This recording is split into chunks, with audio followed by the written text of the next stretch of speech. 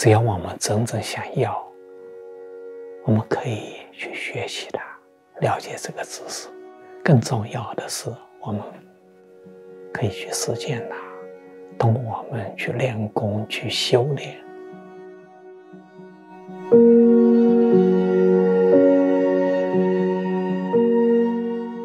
Hello and welcome back to Wisdom Guided Living, a series featuring UNC's teachings of Rensha.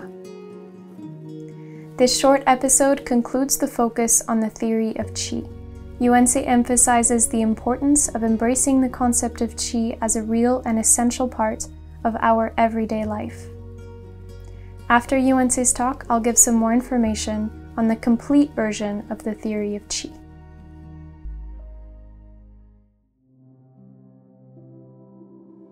呃，对于很多 没有气的作为文化背景的人来讲，一开始了解气，似乎有那么一点点困难。但这种困难不是对于真正想了解自己、了解这个世界、想要健康和想要成长的人。他并不会真正形成什么障碍，因为就算是有气文化背景的人，也不一定真正了解气，也不一定会真正去善用气，去爱惜自己的气。他们只知道气的一些简单的概念，甚至不完全正确的概念而已。所以说。所有的人，我们几乎在同一个起跑线上。只要我们真正想要，我们可以去学习它，了解这个知识。更重要的是，我们可以去实践它，通过我们去练功、去修炼。对于很多人来讲，很快就不同程度能够感受到这个气。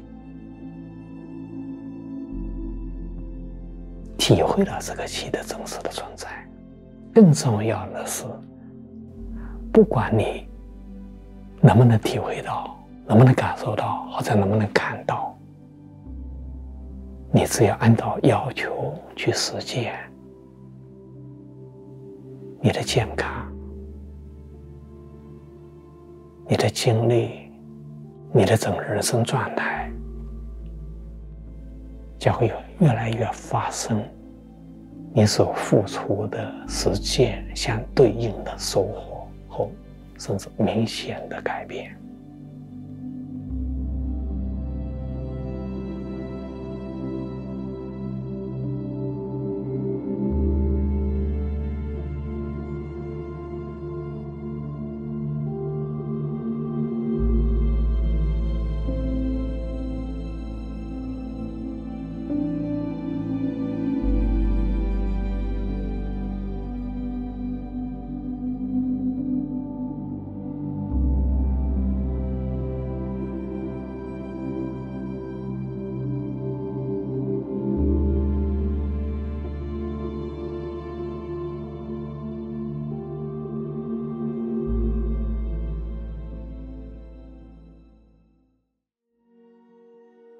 Thank you for watching.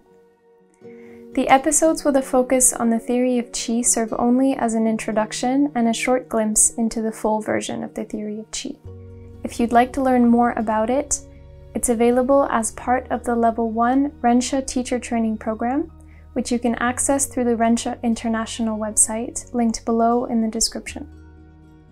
We're taking a break for a few weeks to release our new documentary film, Any Given Moment.